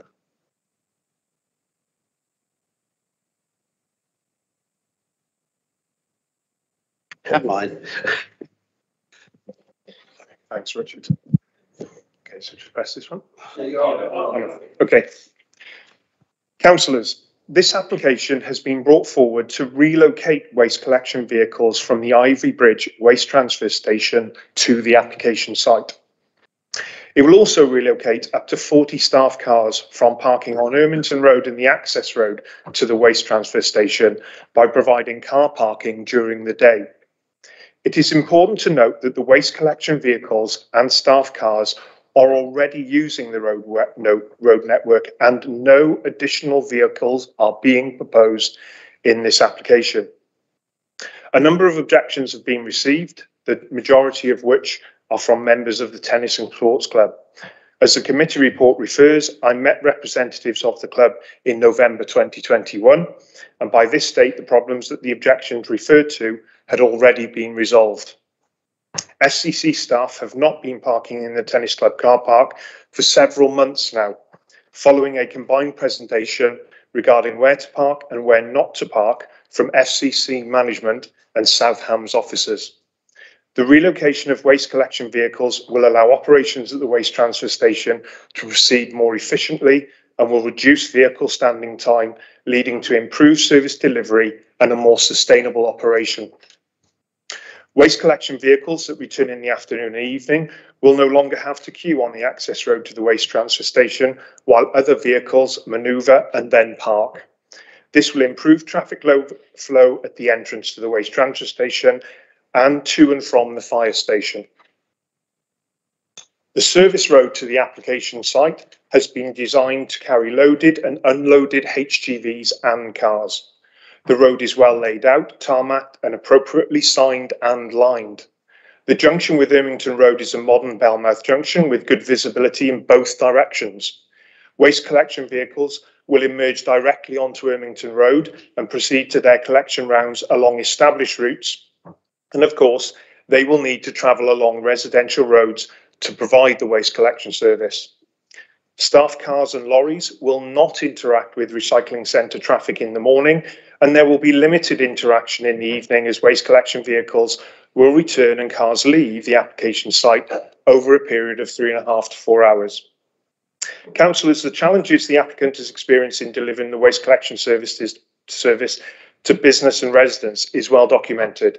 This application, together with proposed changes to the waste transfer oper operation, will allow significant improvements in service delivery. The waste collection service will be delivered more efficiently, more sustainably and more safely, which can only benefit businesses and residents in South Hams. Councillor, I would ask you to approve this application so that these benefits can be realised at the earliest opportunity. Thank you for listening. Thank you, sir. Members, any questions? Councillor Abbott to, do I need to turn this off? Good afternoon, uh, or something. Uh, I'm Councillor Abbott.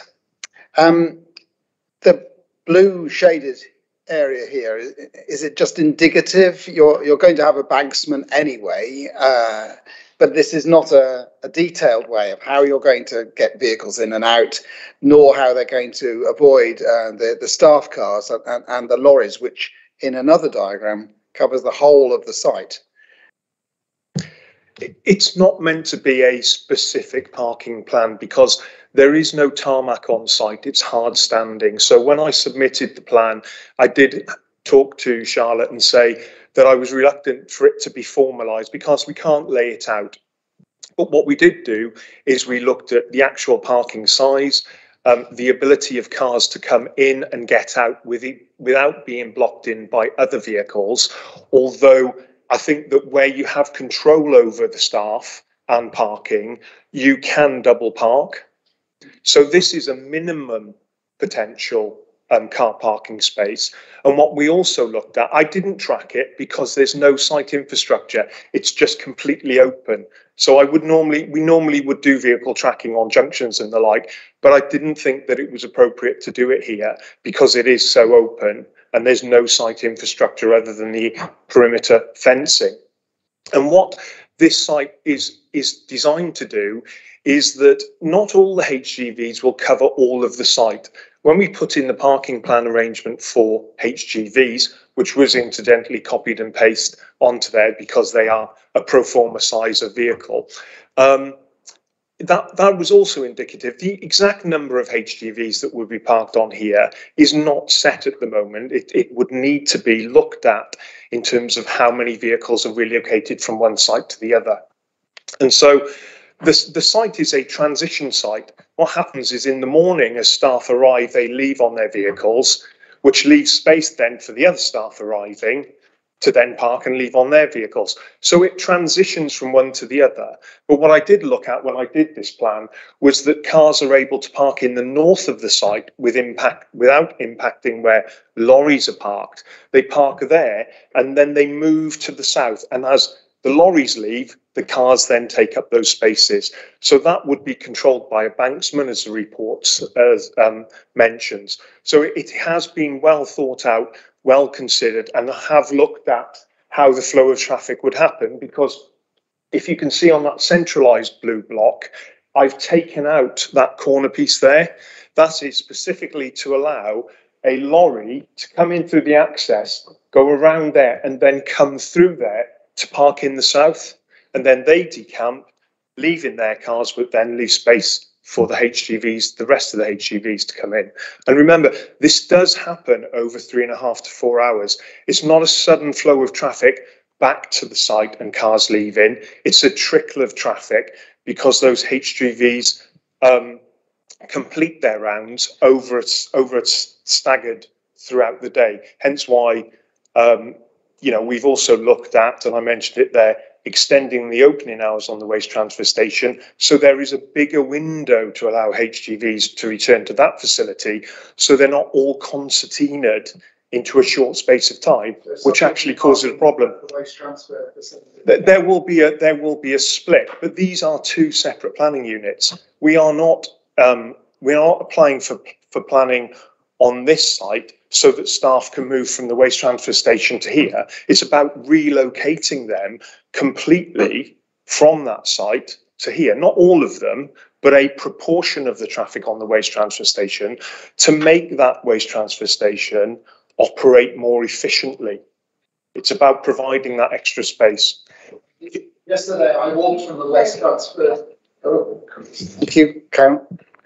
Yesterday, I walked from the waste transfer station up into Ivybridge, and, and there's a potential employability of 9,000 people, I guess, there to uh, to walk down. Are you content with um, pedestrian access in through that corner? But the gate on that corner has been provided because there is a legal requirement on the landowner to provide a gate. It's it's to do with the um, national highways and slip road. It's not to do with us we, he has to provide that. And that's why when I've come up with this parking plan legally, and I know legal is not a, a planning matter, but it explains this point, we are not allowed to obstruct that access. So that's why that gate is. We haven't requested that gate. The only access to this site will be via the surface road. So we, we are not intending staff to travel from the waste transfer station to this site. This site is meant to be a separate planning unit there's considerable car sharing happening now after discussions by FCC management and South Hams officers. So there's considerable car sharing. So we're not expecting staff to have to walk to this site, hence why we're not supportive of a footway being put in. And, and further, in terms of foot, notwithstanding that, in terms of the footway, it would be incredibly complicated because we would need two seven eight agreements with um, the Highways Department in Devon. We would need a 278 agreement with National Highways. That would be incredibly expensive in, in, in order to um, get those legal agreements in place. We don't know what the infrastructure structure might be that they require to cross the slip road, because ideally you do not want to pedestrians crossing the slip road.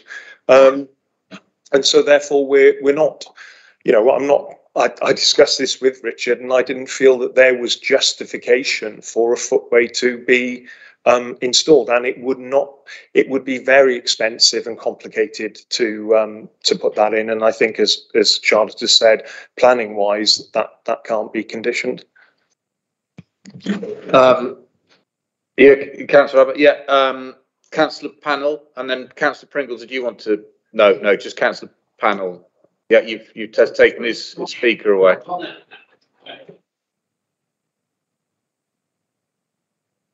Yeah, can I just clarify the, the, the, the gate in the corner, which you say is a highways requirement? Is that gate locked or unlocked? It's locked. it's locked, but it's a requirement. There's a gate there, but it doesn't have to be unlocked. What's the, re- why, why is it there then? I I don't know.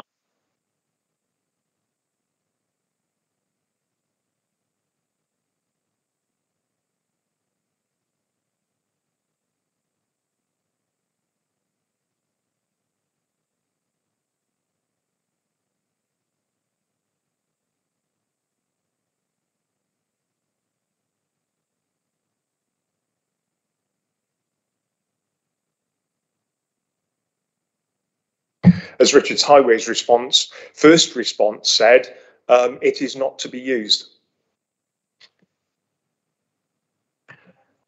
Okay, mystery deepens on that. Um, members, any more questions? I mean, I think you've answered my questions, and that was, you know, would you be interested in doing a pedestrian footway? And the answer was quite categorical, no. Um, so members have to, I mean, in a way that was, um, that's not what was before us anyway. So, uh, so, right. Thank you very much, sir. Um, and now it's the, um, town council representative.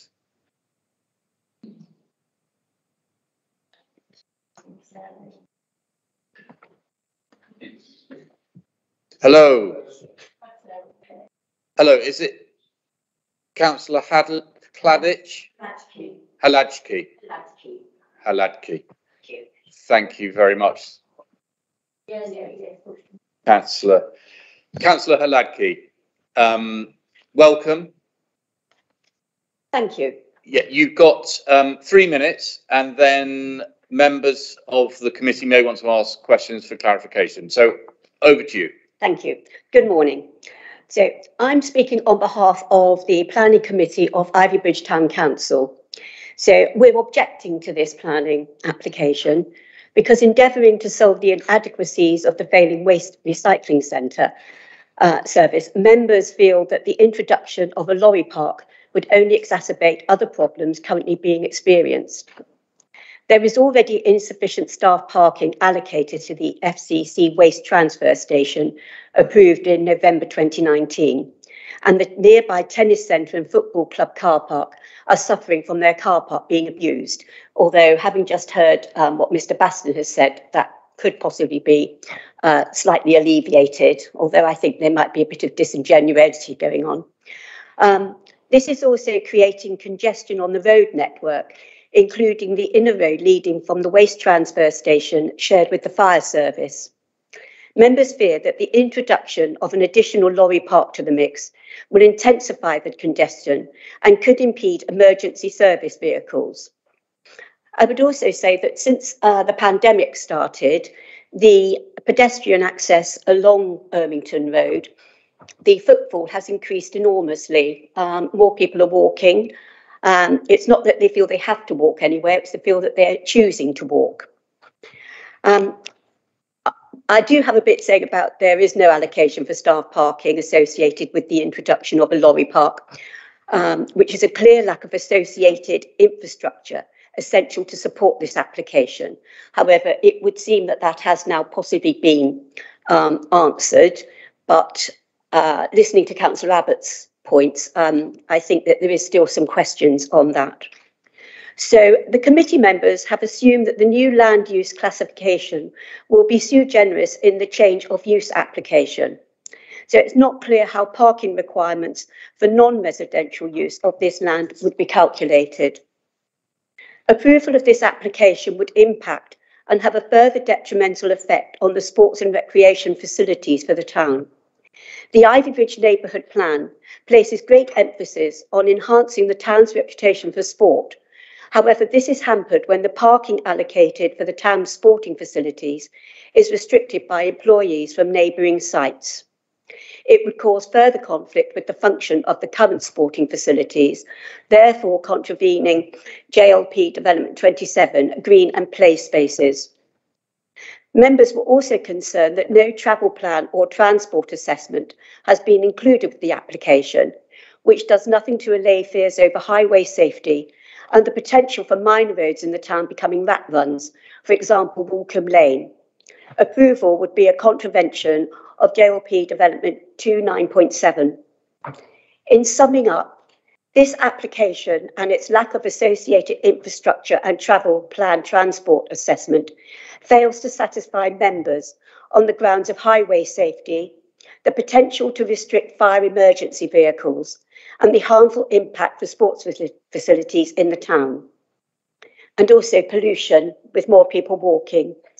It is in conflict with the joint local plan and the Ivybridge neighbourhood plan, and therefore neighbours were unanimous in objecting to the application. Thank you. Thank you very much. Um, members, any questions for Councillor Hlajki?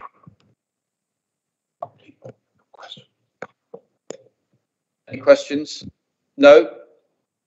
In which case, thank you very much. Um, thank you for your time. Thank you. Right. Um, I'll now move to the ward members. Um, Councillor Pringle, do you want to go first? Councillor, uh, Councillor Abbott.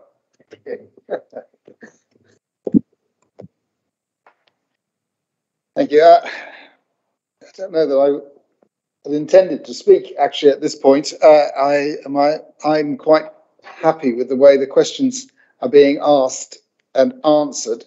Uh, and my understanding of this is it seems an important part of the delivery of the waste service, and I'm minded to accept it as it is. Okay. Um, I, I'm going to repeat myself here. I, this isn't about whether it's going to help deliver the waste service. It's, it's got to be judged on its planning merits. Um, and and and the main issue here is that there's an objection from highways saying that if you provide a car park like this, you should provide pedestrian access, which allows people to drive or cycle to that car park in order to access their work vehicles.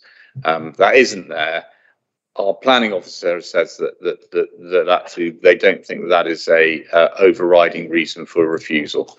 Um, but I, what I don't want to have is the fact that this is going to help our recycling or what have you, because that is not a planning consideration. Um, anyway, having said that, uh, Councillor Pringle, did you want to say something? Yeah, I, I just want to firstly, obviously, with um, part of it being for cars, that will alleviate a lot of the parking and the problems with um, parking tennis centre. They do still. I was there Monday, six till seven. I go to the tennis centre, and they were parking there then. Um, but also, I think with regard to the um, access for people being able to cycle, there are a lot of people that want to cycle and walk to work nowadays. So I, I do, I do think that is part of a you know, part of it. But other than that, with they've alleviated the issues with the with the parking, I would say, with the with the car park. But it's it's to me the problem is the walk, walkway. Thank you. Right, um, members, Councillor Kent, did you want to Um, say something? yeah, just a quick question that I just saw here. Um, it says no fuel intercept interceptors proposed, so any leaks will go into the drainage. Um, what fuel are we talking? Are they refueling on on that site as well? Then, No. so what's that all about then? Well, if, if you've got vehicle parked there, it might, No, that's not. has it? That's not the point. So what leaks are we talking about? There was a there was a misunderstanding that that um, is from the town council, I think. Uh, Yes. and, and the answer was uh, that um, FCC are uh, not doing uh, any remedial work to their vehicles, n- no maintenance on the site. So Right, okay. They're arguing it's not relevant. Sorry, am I treading on your toes now? No, that's fine. So I think the thing is, is it's just purely for parking, nothing else, and therefore that's not a relevant point. Oh, um, okay. In respect to planning. Okay. Um, and the other thing that I wondered about was lighting. because there's a lot of talk about lighting being required on these sites for security purposes. So am I right in thinking that cameras can't record in the dark unless they're an infrared camera? Because there's lots of Okay. industrial sites that have Yeah. lots of lighting on all night. Councillor, I'll, I'll go to, to Ms Harrahane. Yeah. to- Um, one of the recommended conditions is that any external lighting has, the details need to be agreed with us first before it's installed. So, um, they've not said whether lighting is needed or not, but if it is, we will be able to look at the details and make sure it's kind of proportionate. Okay, and um, and will you be able to enforce that then? Because I'm it, I'm seeing the skies lit up all over the place at the moment. Yeah, they'll, they'll have to submit a formal discharge of conditions application, so we will get the details. And then if they obviously don't accord with those details, then we can get enforcement involved. Right. Okay. Okay. Thank you. Thank you, councillor. Can, can, councillor Pannell. Thank you, Chair. We, we've heard that um, this application is not going to lead to any increase in lorry movements because they already go to uh, the waste transfer station. Um, it's going to provide somewhere for them to park at night. It's not. It's going to alleviate the, the car parking problem, which I'm very well aware of in Ermington Road and the adjoining sites. Um, and I don't see how this is going to make things worse for the fire station because, it, in a way, it's going to take some lo- lorry movements away from that um, exit.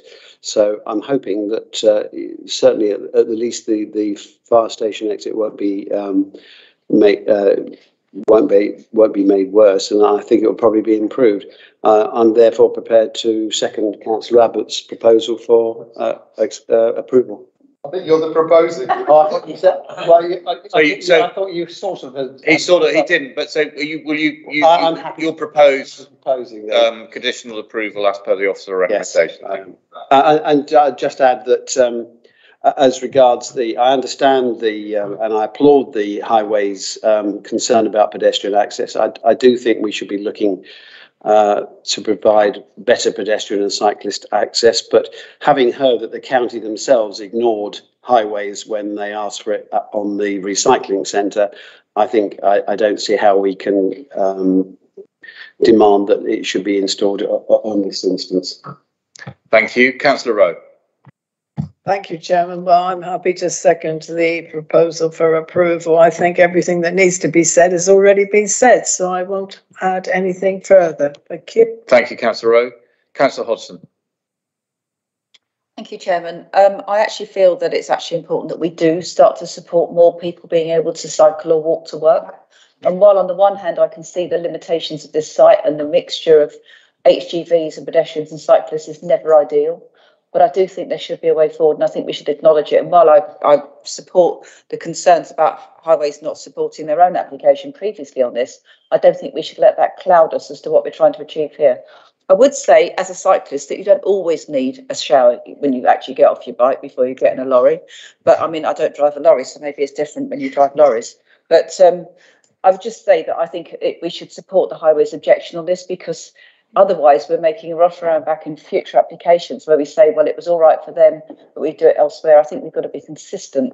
And if we want to see more sustainable transport supported, particularly for local people working and being able to get to their workplace safely by, by foot or by bike, then I think we need to sort of start implementing that in the decisions that we make. And I, I think this one maybe should just be sent back, have that amendment made and then come back again.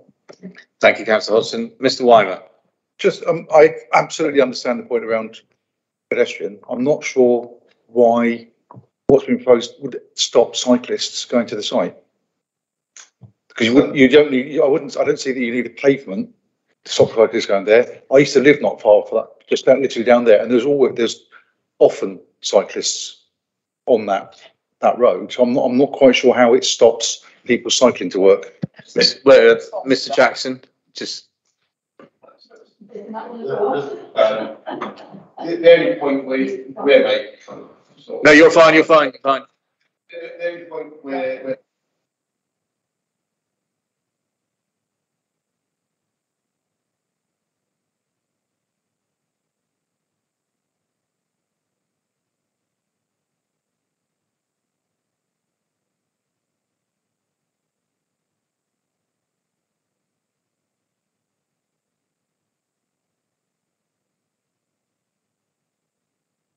Can't hear.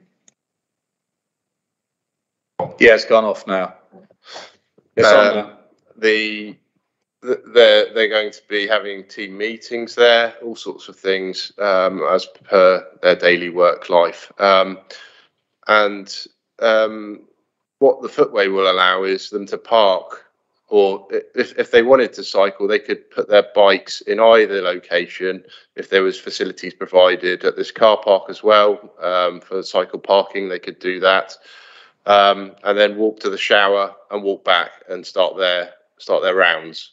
So w- without the footway, that's very difficult because you've not got the safe and suitable walking facility, and it's not going to be light at certain times of the day when some of these in the winter when some of these people are turning up to work in the early hours of the morning. And i would suggest it's uh, not safe to be expecting them to walk on the the tarmac carriageway. And it's not an ideal situation to have them walking on a muddy grass slippery verge. Okay. Thank you. Uh, councillor hodgson? Yeah, just to reply back to Mr Whymer's comments regarding um, um, cycling. Um, when you've got a lot of HGVs, they don't mix well with cycling. It's it becomes unsafe, and especially when you haven't got pedestrian routes, it's it's much more a kind of a big vehicle. So I just think if you're going to be doing stuff for pedestrians, make it multi-use for cyclists too, and then it actually goes both. okay um any more for any more um councillor abbott So we, it's been proposed and seconded, but, but may these, may that go along with conditions? So that, uh, well, it depends what the conditions are uh, the, such as a provision of a mixed cycle and pedestrian route? uh i don't think so we've already heard from the applicant that they're not accepting that W- Would a, I have seen um, at appeal inspectors take the view that a Grampian condition is appropriate on the highway if it falls all entirely within the highway. mr Whymer do you want to My concern is I don't think we have a, a plan of exactly where a footway is going to go. So I'm not sure we are sure that it's entirely within the highway. I think if, if members feel that a footway is a necessity, then I think the applicant, uh, given that the applicant, the applicant has clearly said they want to determine as submitted and they're not going to do it, I think the only, the, it'd be, um, it really ought to be determined. And if you feel a highway's uh, footway is necessary, it should be refused on the basis that it hasn't, isn't providing a footway. Yeah, I, I'm, I agree with that. I think if you, if, if you think the footway is absolutely overriding, then you should, you should vote to refuse it. Um, from my own point of view, I, I, I totally agree with all, you know, that, that we should be encouraging people to cycle and walk to work as much as possible. I would say one of the, one of the sort of mitigating factors in here, we already have a work thing here without the cycling and pedestrian. And what this car park is going to do is actually to alleviate some of the car parking issues that they've got in and around that area. And as such, in my view, that's enough to override the requirement. Um, notwithstanding that, I mean, on other occasions, I will definitely be supporting county's view that there should be that they should be supporting sustainable transport. Um, but that's that, that's where I stand on that one. Anyway, right, members. So we're going to go to it's proposed and seconded for conditional approval as per the officer recommendation. Can I have a show of hands for those in favour of approval, please? That's 11 for approval. Thank you, Chair. And those against? One against. Thank you, Chair. Thank you, members. That application is approved. And thank you, Mr Jackson. Good to see you. Yeah, indeed. You got off quite lightly today. This must be the New Year spirit. Yeah. Okay, right, members, um, thank you for that. We'll now move on to agenda item seven, which is appeals. Um, Mr Whymer. Thank you, Chair. The, the only, um, the only appeals on there today are appeals that have been made rather than appeal decisions, unless I'm looking at an older report, and I don't think I am. The only thing that I would like to report, however, which is of interest, and Mrs Folds may want to, to come in, uh, um, if I get, if I got anything wrong. Members will recall that the council was successful in defending a certificate of lawfulness appeal at Seymour Drive in Dartmouth. Um, earlier this week, we received a letter from the inspectorate basically awarding us full costs. We didn't apply for them. The inspectors basically said, contacted the applicant. They haven't responded. I think they, I, they clearly didn't have a case. Um, it, put the- it was a certificate of lawful continuation of a planning application, so continuation of de- development not in accordance with the condition for members of the. It's about twelve, yeah, I think it's about twelve extra houses on a piece of, uh, a copse, that they came and chopped the copse down and then caused a massive hoo-ha in Dartmouth. Thank you. But, but, so the inspect, the inspect, because in, um, a couple of, three years ago, the, the, the rules changed and inspectors are able to award costs to either party irrespective of whether anybody's applied for them. And this is, however, this is the first time in my experience that an inspector has awarded costs without either party applying. We didn't apply for costs we've got our full costs awarded. Um, which is a very pleasant surprise. No, yeah, good news. I mean, members, any comments uh, on that one? I mean, obviously the other ones have all just been lodged. I mean, the one thing I would say is that I think that what that illustrates is that as a council, we should be more ready to to go for costs on appeals. Uh, and that what we've look, we've got here four appeals that have been lodged. If there is a particular member that thinks that that is an outrageous appeal to lodge, and that they've got no case for it, then we should we should encourage officers to go for costs. Um, I mean, I think I thought the Brutus Centre in Totnes was a classic example where they they knew that they didn't have a case to to appeal on, and we would have won that hands down if that had gone to appeal the original one, uh, and we should have gone for costs. So that, that appeal's been withdrawn. Yeah, I know, but what I'm saying is is that we must say right from the beginning, if you lodge an appeal and we're defending it, we're going to go for costs. Because and and I would hope that on the Seymour Drive one that we advertise the fact that we've been awarded costs out there so that developers begin to realise that we're not a soft touch here in the South Hams and that we we can give as good as we get. Well, well, I mean, that's what we want to change. I think we want to, you know, so developers think, oh, well, we'll appeal it because what I've seen is that they do they do an appeal not because they think they're going to win the appeal, but they know that what the inspector says, they then just need to put in a planning application dealing with the two points that the inspector reads, and then and then they're going to get win their next application. And so I think it's sort of speculative that they do it, and I think we should we should say, okay, you can do that, but we're going to take costs off you. That's that's my own view. I just think we're a bit too cautious in in, in going for costs on these appeals. Chair, uh, if I can, um, I'll just, I'll take that on board, I'll take that on board. Um, I, I said officers do, uh, speak to me when they think there is a genuine, um, application for costs and, uh, and we do support them. Um, uh, this, this is a new one and I, I'm pleas- pleasantly surprised and there was a reason why we didn't go for costs in this, um, in this one, which was regarding the plans. Uh, but I, I'm I'm very happy with the result, and if that does encourage us to do costs, then I'm more than happy that happy that we do so where we follow the cost rules about uh, whether their their behaviour is unreasonable, and that's what we need to demonstrate, um, that their behaviour is unreasonable before we go straight to costs. And again, always I wouldn't want to make it as a matter of course because I think it does then you get a reputation, it does lose weight. So, but where there is grounds, I certainly support that. Yeah, no, that, no, I agree, and it shouldn't be on everyone. But I, I, I, I can't remember when we actually did apply for costs in an appeal ever. We, we have done a few recently. Yeah. We've- We've taken, we've taken on board what the committee have said and we are. Good. But, but, but where it's just, so if for argument's sake, it's a household application and it's a subjective Yeah, yeah, yeah, no, no, no, no, yeah, quite, quite, I quite agree, quite agree. But I think, I mean, like, say on the Brutus one, they were refusing to do any affordable. They weren't, you know, they hadn't put enough detail, all the things, there was, it was just massively wrong. And we passed it. No, but that was later on when we got four hundred grand off them.